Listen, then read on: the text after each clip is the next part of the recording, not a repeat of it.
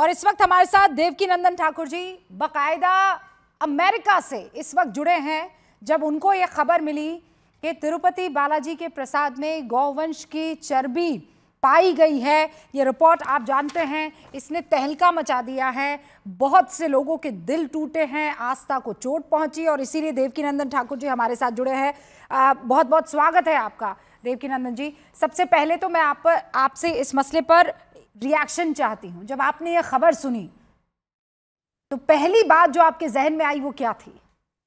देखिए, सबसे बुरी बात तो ये है कि जिन लोगों को उस मंदिर की संस्था में रखा गया देख रेख में रखा गया, और ऐसे लोगों को रखा गया जिनकी सनातन में धर्म में श्रद्धा ही नहीं है, भगवत पूजा में उनका कोई श्रद्धा ही नहीं है, विश्वास ही नहीं है। प्रसाद जानते हैं मंदिर का क्या है? प्रसाद का महत्व क्या है? जानते भी हैं ये लोग।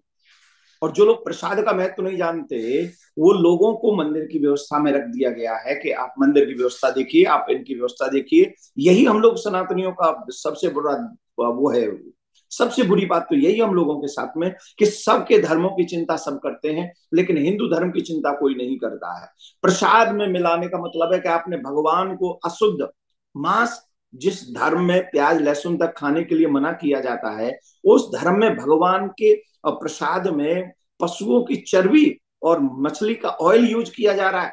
ये धोखा है ये फ्रॉड है। न सिर्फ़ धर्म के साथ फ्रॉड है बल्कि जितने भी लोग वहाँ पहुँच रहे हैं उन सब के साथ बहुत बड़ा फ्रॉड है।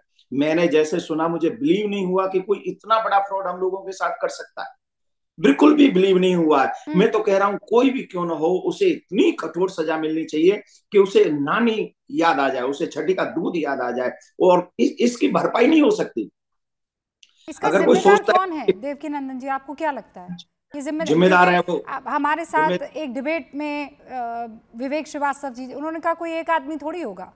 ये तो जहाँ से मंगाया जा रहा है जहाँ पर ये नकली घी की या इस तरीके के घी की फैक्ट्री है वो होगा। और और सबके सब इसमें हिंदू ही होंगे। मैं आपसे एक बात पूछ रहा हूँ। विवेकहीन लोग नहीं समझेंगे कि मतलब क्या है प्रसाद।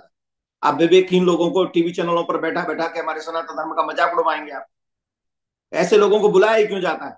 जिनकी प्रसाद में निष्ठा नहीं जिसमें भगवान की निष्ठा है भगवान में निष्ठा नहीं जिनमें गीता में भागवत में रामायण में निष्ठा नहीं वो क्या जाने प्रसाद का मतलब?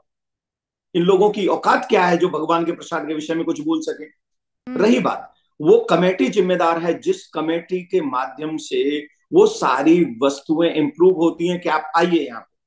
कोई भी कैसा भी कुछ भी मैं आपके टीवी चैनल पे कोई भी न्यूज़ भेज सकता हूँ क्या? अगर मैं भेज भी दूँ सपोज़ मैं कुछ भी बना के भेज दूँ कुछ भी बना के भेज दूँ मैं हम्म। अमेरिका में बैठा उल्टा सीधा कुछ भी ला के आपके भेज दूँ तो आप चलाएँगे उसे कतई नहीं आ, तो आपकी ज़िम्मेदारी है ना हम्म।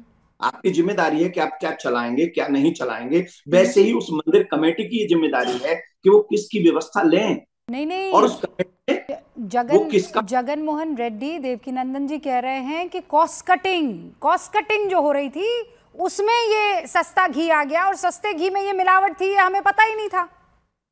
क्रॉस कटिंग का मतलब मैं समझा नहीं मतलब कम पैसा भाई जो खर्चा आ रहा था ना प्रसाद बनाने में तो हम तो खर्चा कम करना चाह रहे थे कॉस्ट कटिंग करना अच्छा, चाह रहे थे और उसमें तो सस्ता घी आया और वो सस्ता घी ऐसा आएगा हमें नहीं मालूम था।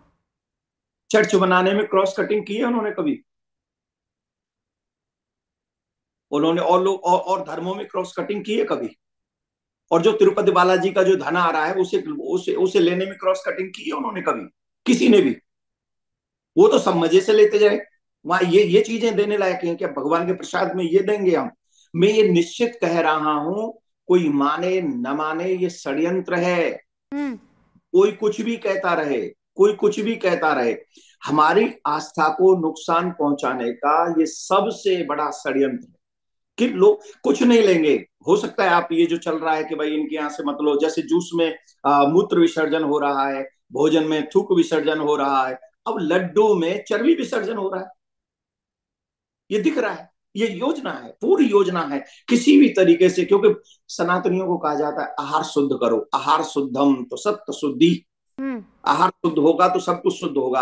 अब उस आहार को ही नहीं प्रसाद को भी अशुद्ध करने की प्लानिंग है ये षड्यंत्र है।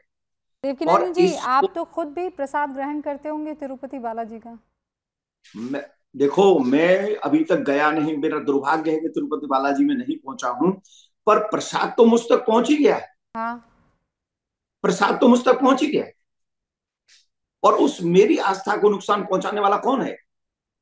मैं पूछता हूँ संविधान उसे क्या सजा देगा? मैं अकेला नहीं पूछता हूँ। करोड़ों करोड़ों लोग पूछते हैं जिन्होंने वो तिरुपति बालाजी का प्रसाद ग्रहण किया है। इसका जिम्मेदार कौन है? उसे फांसी पे कौन चढ़ाएगा? उन्होंने हमारे शरीर को नुकसान नहीं पहुँचाया। हमारी आत्मा हमारे व्रत हमारे सनातन को नुकसान पहुँचाया। और अगर ऐसे लोगों को सजा नहीं मिली तो हम यही मानेंगे कि भारत में हिंदुओं का कोई नहीं है। भारत में भारत के संविधान में कोई भी जगह हम सनातनियों की नहीं है। जहाँ दूर से आए वो लोग मैंने आपके साथ बहुत बहस की है।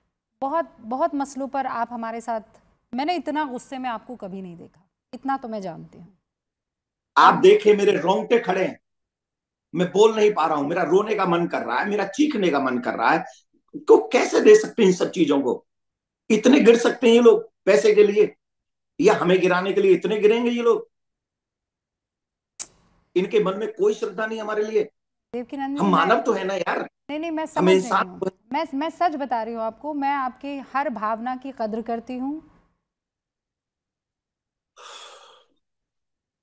और मैं मैं जान रही हूँ कि आपको कितना दुख पहुँचा है आप कितने कष्ट में इस वक्त हैं और ऐसे सौ करोड़ हिंदू हैं जो इस वक्त कष्ट में हैं। और इसीलिए अब इस मसले को यहाँ रोक देना काफ़ी नहीं है इसकी जड़ तक जाना ज़रूरी है। आप अपना ख्याल रखिएगा देवकी नंदन जी बहुत बहुत शुक्रिया हमसे बातचीत करने के लिए तो देवकी नंदन जी हाँ। ऐसे लोगों को कठोर सजा मिलनी चाहिए और ऐसे लोग जिन्होंने करोड़ों करोड़ों लोगों को उनकी आस्था को ठेस पहुंचाई है सबसे पहले तो एक मांग मैं आपके चैनल के माध्यम से कर दूँ कोई भी विधर्मी जो सनातन और भगवान की पूजा में श्रद्धा नहीं रखता वो बोर्ड में कभी नहीं होना चाहिए हम्म। इसीलिए मैं कहता हूँ कि मंदिर हमेशा एक सनातन बोर्ड के तहत होने चाहिए ना कि सरकार ये मांग तो कोई लगी है। देवकी नंदन जी बहुत बहुत शुक्रिया। अपना ख्याल रखिएगा। तो देवकी नंदन ठाकुर भावुक हुए और ये कहने लगे कि जब तक फांसी नहीं ये समझ लीजिएगा कि सनातनियों का इस देश में फिर कोई नहीं।